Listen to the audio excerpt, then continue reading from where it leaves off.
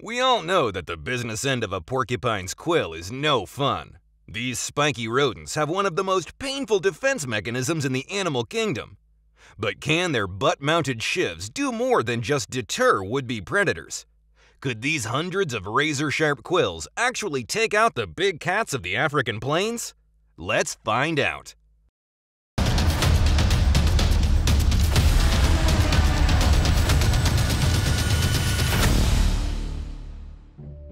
When it comes to a showdown between the ferocious African leopard and a timid porcupine, most people would bet on the animal with the big teeth.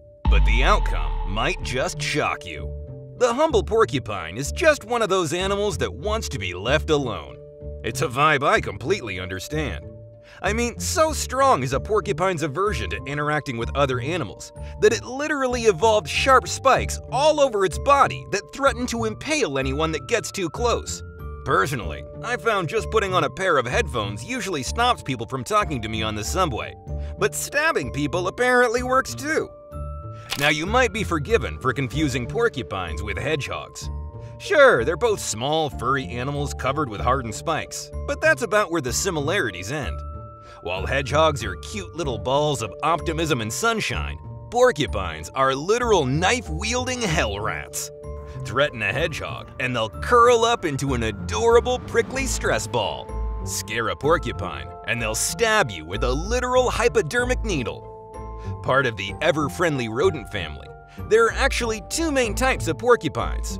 Old world porcupines found throughout Asia, Africa, India, the south of Europe, and the Levant, and New World porcupines found in North and South America. But it's the Old World porcupines that regularly have to defend themselves against large apex predators, especially on the African plains. And it's for this reason that their sharp quills are arranged in clusters on the porcupine's back and rear. In fact, these quills cover every inch of the porcupine's body except for their face and underbelly. But what's so scary about a couple of toothpicks when you're literally the king of the jungle? Well, these quills are more than meets the eye. Like your standard 18-gauge hypodermic needle, a porcupine's quills are hollow, only the tip is much, much sharper. They're made from hardened keratin, the same fibrous protein that forms hair, claws, and nails. While they may look smooth to the naked eye, zoom in, and that's where the real fun begins. Microscopic barbs line the length of the quill, but they aren't facing towards the point. These barbs, which kind of look like fish scales, face backwards and act as an anchor into whatever they find themselves poked into. You see, once a quill enters flesh, these tiny barbs fan out and seal the puncture, making pulling them out extremely painful. To make matters worse, the quill tip breaks off easily and can often work its way deeper into the skin over time. If you do manage to pull them out, the fanned out barbs do a whole lot of damage on the way out, often making the entry wound twice as big. So, how do you end up impaled by a porcupine quill? Despite what you might have heard, porcupines can't shoot their quills at you. When pressure is applied along the quill, a special membrane under the porcupine's skin breaks, allowing it to be pulled out. But don't worry, they grow back. That's not to say the porcupine can't go on the offensive. They often strike with their tails to stab predators with their quills. This design feature isn't perfect though. Porcupines have been known to fall out of trees and accidentally stab themselves with their own spines. So, you'd have to be pretty unlucky to get impaled by a porcupine, right? Well, kinda. While most older animals know not to mess with this walking reverse pincushion, occasionally a juvenile big cat gets curious. When threatened, a porcupine activates small follicle muscles over its body, erecting the quills into a spiny defense pattern. These quills, particularly concentrated on the crest and rump of the porcupine, fan out, creating an almost impenetrable shield around the rear of their bodies. Now, if you remember, these quills are hollow, meaning that when they hit each other, they create an intimidating rattle, similar to the one used by the rattlesnake. And we said, most older predators have learned their lesson as kids messing with porcupines, so they have to be pretty hungry to want to engage seriously. Most lionesses eventually get bored and move on. But not all animals are as wise, and sometimes the showdown is on. Who do you think would win between a porcupine and a leopard? How about a lion? Is there any other animal that you think could make light work of the porcupine? Let us know in the comments below. Otherwise, keep watching. Leopards are notorious for not only their ferocity, but also their massively varied diet. They're the guy at the buffet keen to try out every single option, no matter how much the oysters disagree with him. Ah, you lost it! So it comes as no surprise that, on occasion, leopards try to add porcupines to their afternoon snack. At first, the interaction is one of confusion. If you had to eat a cactus, where would you even start? Porcupines favor their defensive rear end position, making sure their quills are always facing the threat. The leopard can only really paw at the waving quills, trying to find an opening. More often than not, leopards will end up with a few warning barbs, and the porcupines escape into the horizon. Other times, it's not so pretty.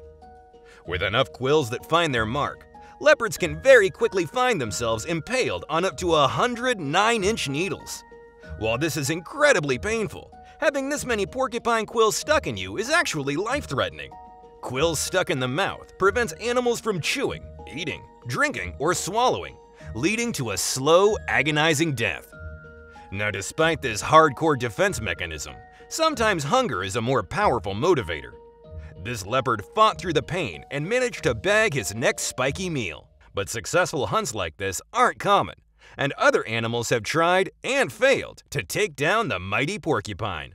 Sometimes, snakes don't know any better and try to go for a quick porcupine pick-me-up. That's if they can get past the rattling defensive spike shield first.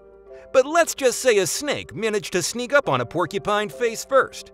In South Africa's Lake Eland Nature Reserve, cyclists noticed an engorged African rock python lying on the side of the road. Judging by the bulge, it was pretty obvious that the 13-foot snake had recently eaten a big meal. It wasn't uncommon for pythons of this size to swallow small impalas or warthogs whole and just lay around lethargically for a day or two while they digest it. This python, however, was clearly struggling. It was breathing heavily, and moving the bulge down its body seemed to be a lot more difficult than normal. A few days later, other visitors to the reserve found the python dead. The reserve manager collected the snake and performed a dissection, revealing a large porcupine. The entire internal length of the snake was impaled by quills, completely shredding the snake's insides.